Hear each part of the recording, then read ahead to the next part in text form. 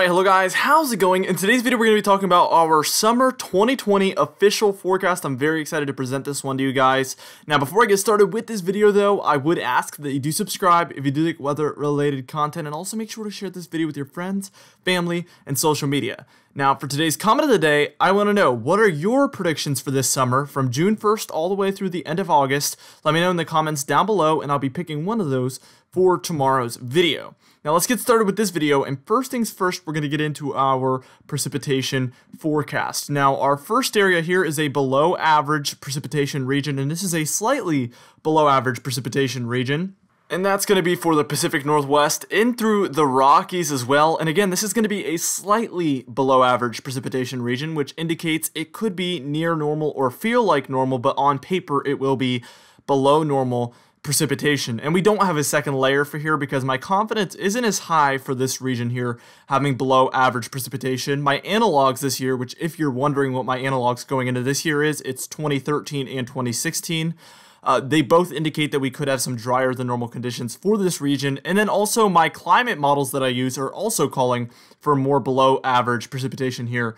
But our confidence is a little bit lower because we are headed into a La Nina, which would usually cause above average precipitation for this region. So I do think there is a chance uh, that this ends up being a little less accurate. But I, as of right now, both of my main models and then also my both of my analogs are calling for below average precipitation. So I'm going to slightly side with them uh, on this one.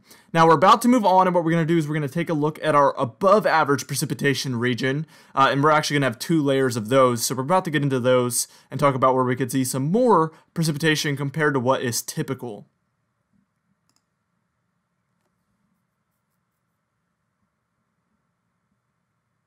Here is our above average precipitation region, and you can see basically for the, th the eastern third of the United States, we're going to be dealing with at least some slightly above average precipitation, with maybe the exception there of northern New England as well as northern New York State. Uh, those areas look to be a little bit less involved with the major storm track that we're going to be dealing with.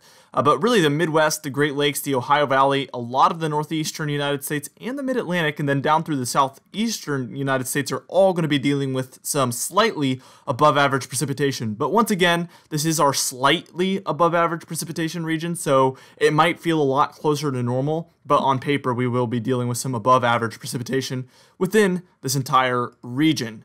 All right, now here's our second layer of above average precipitation. And this is just an area where we're more confident in that above average precipitation.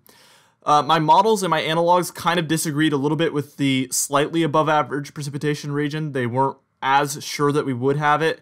Uh, but for the southeast and the southern mid Atlantic, I guess you could call it, they definitely were all in agreement that this area would have some above average precipitation. So, therefore, my confidence is a lot higher for this more southeastern region to have some above average precipitation. Also, if there is any tropical storms or hurricanes that impact any areas, that could definitely swing this one in a completely different direction. For instance, if southern Texas, uh, the, the coastal Texas there, got hit by a hurricane or something, well, then they would probably be in the above average precipitation column. However, we can't really forecast whether they will be hit with one or not, especially if it's in like August or something. It would be impossible for me to obviously forecast that to happen. So that's something that could happen that could shake our forecast up a lot. All right, now we're about to move on and we're going to get into our temperature forecast, our official temperature forecast here for the summer of 2020. Again, June 1st through the end of August is where this forecast is going to be valid for. So we're about to get into our exciting temperature forecast.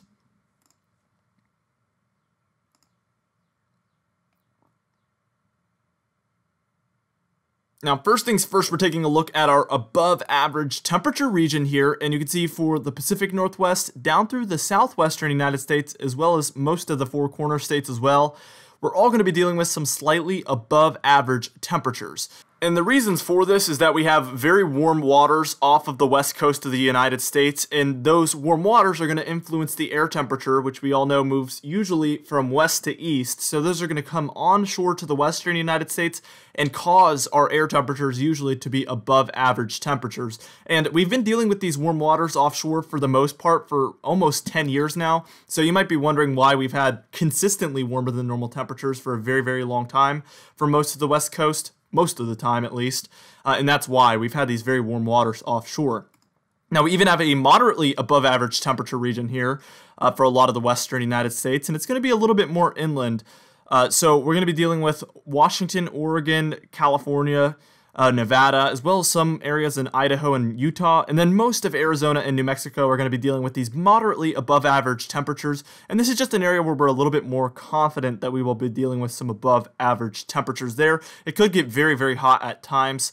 Now, here's another area where we're going to be calling for some above average temperatures here for New England and then down through a lot of the coastal, northeastern, and mid Atlantic states.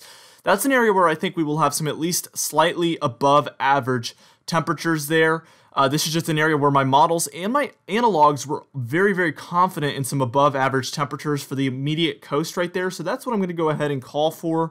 Uh, we definitely see a very small region there, so it could be closer to normal, but I do think that we will see some above average temperatures nearby that region. All right, now we're about to move on and start talking about our below average temperature regions and get into that.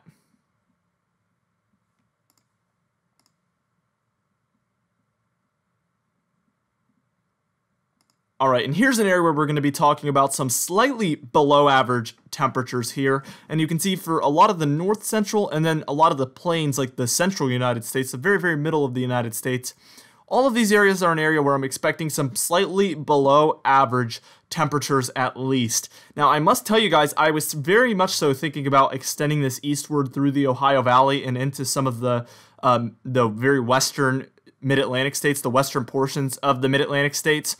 However, the models are trending at these areas being a little bit warmer than normal, especially throughout June and July. Uh, but by the time we reach August, I could see the cold moving further and further east as we head towards the fall season. That's kind of what I'm thinking at this point. My first fall forecast, by the way, is going to be coming out at some point during the month of June. So be on the lookout for that one. I know a lot of you are probably excited for that, as I am as well.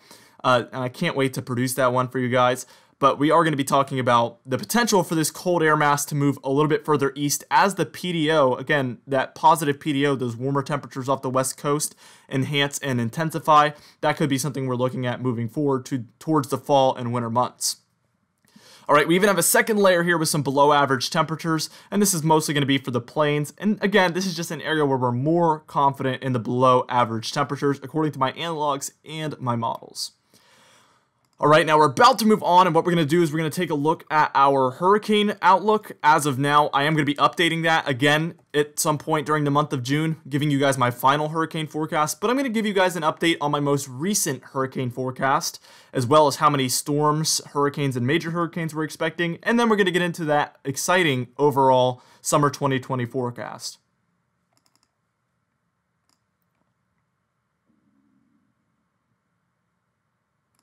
All right, and here we go. First things first, we're taking a look at our overall forecast for the hurricane season of 2020. Again, I will be updating this one probably within the next month at some point during June. I'm going to be making my final and official hurricane season forecast for 2020, so be on the lookout for that one. But this is our most up to date maps. We have that red area is what we call our main development region, uh, and this is a very favorable area looking forward towards the hurricane season. We have a lot of warmer than normal sea surface temperatures out there that will help feed the hurricanes that develop out there, as well as we're heading into a La Nina, which also encourages less wind shear over these regions, which is going to help these storms intensify and not really have wind that they have to battle against. Now, for this orange region offshore of Central America, we have warmer than normal sea surface temperatures, which could help development of some tropical storms and hurricanes for those regions.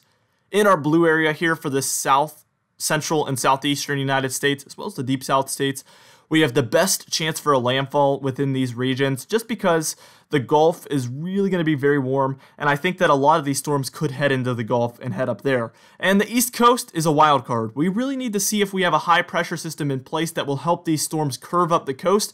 If we don't have that, all of them are going to head into the co- into the Gulf, sorry. And if we do have it, then a lot of them could curve up the East Coast. So that's really a wild card that we will have to see once we get closer to the hurricane season. And I have a, I might have a little bit more insight on that in my final hurricane forecast that I mentioned before. All right, and here's how many storms we're expecting for this season. Uh, we are expecting 14 to 20 named storms, which is above average. We are expecting 7 to 11 hurricanes, which is above average, and 4 to 7 major hurricanes, which is also above average. So we're expecting more storms to develop overall this season. All right, now for our 2020 summer forecast, overall forecast, here we go. I'm going to work it from west to east, and starting out in the northwestern United States through the Rockies, we're expecting more dry than normal conditions throughout that entire brown region, but of course you saw that in our precipitation forecast. Now for the southwest and the, the four corner states, we're expecting hot and mostly dry conditions throughout this orange region there. And by hot and dry, I mean more hot and more dry than what is typical. Now, for our big blue region there, we're expecting some cool shots throughout the summer that will cool things off and make it very, very pleasant. Probably 70s when we see these cool shots come down. It'll be very relieving because sometimes we could have some uh, big heat waves to the south, as you can see for Texas and Louisiana. Those could extend further north, but really overall, we're going to have mostly cool shots for that blue region.